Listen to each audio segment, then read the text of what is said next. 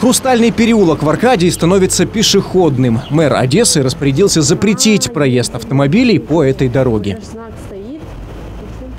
Согласно данному распоряжению, 300 метров дороги, которая находится за моей спиной, Хрустальный переулок, отныне становится пешеходной зоной. Соответствующие знаки дорожные службы планируют установить в ближайшее время.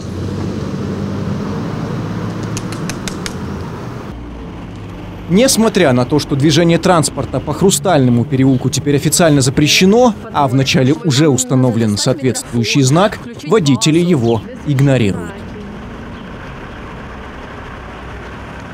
По решению